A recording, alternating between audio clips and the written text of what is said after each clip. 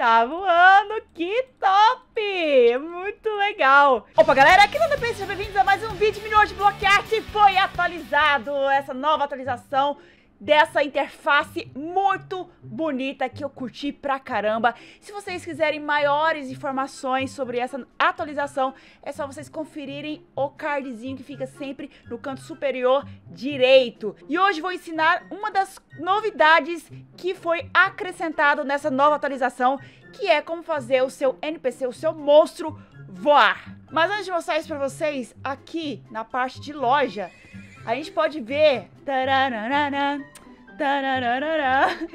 Galera, eles acrescentaram um mob que dá pra nadar. Ele consegue nadar. Aqui, gente, ele pode mergulhar na água e também ele consegue andar pela superfície, pelo que eu ouvi dizer, ok? E onde a gente pode desbloquear essa fofura? O Capitão Selo tá aqui falando, galera, em eventos, fragmentos insuficientes.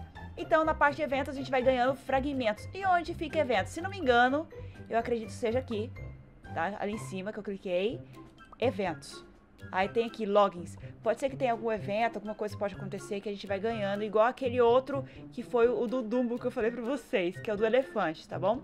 Então bora pro tutorial, que é o que nos interessa aqui nesse momento. Vocês têm que obrigatoriamente criar um mapa no modo desenvolvedor, como eu já falei pra vocês várias vezes. Tudo que vocês forem fazer de miniaturas, vocês têm que criar um mapa no criativo, no modo desenvolvedor. Já ensinei pra vocês várias vezes, eu não vou ensinar de novo. Esse mapa meu, eu criei aqui uma borboleta. Eu vou fazer a borboleta voar, tá? Tá aqui bonitinha a borboleta. A borboleta não é a mais bonita de todas, mas eu quis fazer uma borboleta pra estar tá exemplificando aqui agora pra vocês. Eu criei aqui a borboleta, coloquei o nome dela de borboleta, coloquei ela aqui pra vocês verem em miniatura, tá vendo? E aqui é o bloco, esse bloco de mob, justamente esse bloco aqui que eu coloquei ele nesse lugar. Eu clico no botão direito e vocês podem ver o que, que eu fiz. Eu usei aquele de um bloco só para colocar aqui a minha borboleta, mas isso aí vocês podem fazer da forma que vocês quiserem. Gerei ela e ela por enquanto está andando por aqui. Então bora fazê-la voar por aí. Sai aqui do mapa, clica aqui na parte onde tem os plugins, vai em monstros, adicionar, novo, e vocês agora poderão editar os mobs dentro do próprio MiniWorld. Por exemplo, aqui ó, vocês vêm editar, tem ali animais e monstros. Aqui em animais, vocês podem ver que tem o quê? Qual animal que voa? É a abelha e também o vagalume que voa. Tem também esse outro aqui, é o balanço. O eu balanço também dá pra fazer isso, só que ele não voa aleatoriamente igual a abelha e também o vagalume. Eu já fiz dele uma vez, tá bom?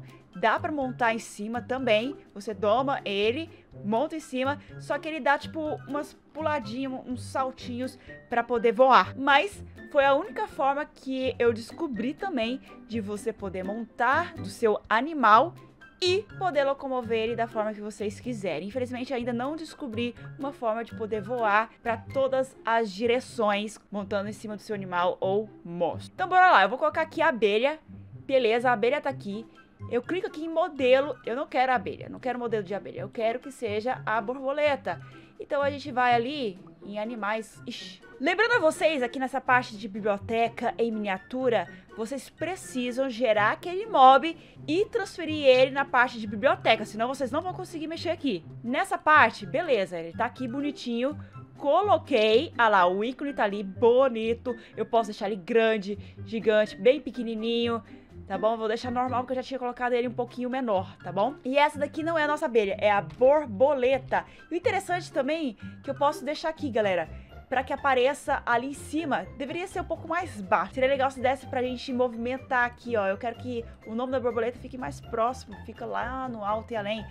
E também posso ter colocar alguma descrição. Ela é legal, por exemplo. Ah, ela é legal. Aí fica ali do lado, para vocês terem uma noção, só que eu não quero eu não quero mostrar e deixa dessa forma aqui. Atributos, a gente não mexe em nada, só se vocês quiserem que ela tenha mais velocidade, o que, que ela pode dropar, você pode colocar aqui ferrão, ela nem tem ferrão, né? Mas vocês podem mexer da forma que vocês quiserem aqui, só vocês lerem que tá tudo explicadinho. Eu já ensinei isso aqui várias vezes para vocês. Batalha também, se vocês quiserem que ela ataque ou não ataque, ela não vai atacar.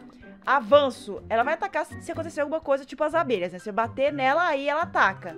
Entendeu? Avançado. Aqui em avançado tem os mesmos plugs, você não mexe em nada, porque já tá tudo bonitinho, fixo na abelha. Já é padrão da abelha poder voar, então a gente não precisa mexer em nada. Salva aqui o seu projeto, tá bom? Clica aqui, confirma a adição e agora bora entrar no game. Então no game a gente vai entrar aqui, galera, procura a abelha. A gente vai aqui em ferramentas, abelha, a gente vai substituir a nossa abelha, ó. Já tem uma abelha voando aqui. ah, que da hora. É isso, gente. Olha lá, tá voando. Cadê? Vai voando. Vai voando. Infelizmente, ainda não tem como a gente colocar pra bater as asas. Seria legal, mas futuramente eu acho que vai ter como sim. Eu espero que logo, logo venha essa atualização. Mas aí, galera, tá voando, que top! Muito legal! E tem como a gente montar em cima e voar? Infelizmente ainda tá bugado, mas eu vou mostrar aqui pra vocês. Perfeito, galera, já mexi, coloquei lá na pasta onde tem o arquivo, mudei os scripts e coloquei para poder montar em cima. Eu já ensinei isso para vocês, se vocês quiserem. Vai estar tá nos cards acima também para vocês conferirem, beleza? Uh, infelizmente, quando a gente mexe e coloca para que ela possa montar, ela fica paradinha. Ela não voa mais, tá vendo?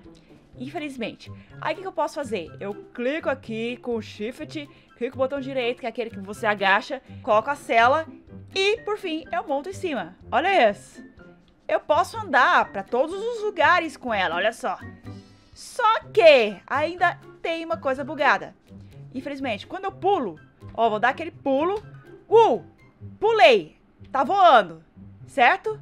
Ó, tô andando aqui, tô cons conseguindo locomover, andar pra lá, pra cá, tá vendo? Ó. Mas eu não consigo descer. Eu não consigo descer. E eu queria conseguir descer. E, e, eu posso até apertar espaço que ela não pula novamente, tá bom? Ó, eu tô apertando espaço, ela não pula. A gente vai ficar voando desse jeito. É a única forma que eu consegui. Se vocês souberem descobrir como fazer com que essa borboleta desça, qualquer NPC, qualquer monstro desça, me fale, porque eu estou louca pra descobrir como é que faz isso. Até então, eu só consegui fazer ela voar e não consegui descer mais. Infelizmente, ela só fica andando na horizontal, tanto para frente, para trás, para lado esquerdo e lado direito, mas ir para cima e para baixo eu não consigo mais depois de dar o pulo. Eu aperto Shift e caio, tá, galera? Olha lá, ela fica voando. O bom é que essas outras elas vão voando aleatoriamente, mas elas só fazem isso. Elas só voam aleatoriamente. Infelizmente não tem como setar para onde ela possa voar. Mais nada, eu gostaria de criar novos monstros aqui nessa aba. Vocês podem ver que tem a borboleta aqui, tá bom? Se a gente criar um novo monstro aqui, galera, não tem opções para voar. Não tem. Vocês podem procurar onde for, não tem como. Eu até copiei nos scripts as coisas da abelha e não funcionou. Talvez eu fiz alguma coisa errada, mas eu vou testar ainda e vou atrás para ver se tem como nessa nova atualização. Mas eu acredito que ainda muita coisa virá para depois que agora ainda não é possível. Bom, galera, espero que vocês estejam gostando desse estilo de tutorial que eu tô trazendo pra vocês.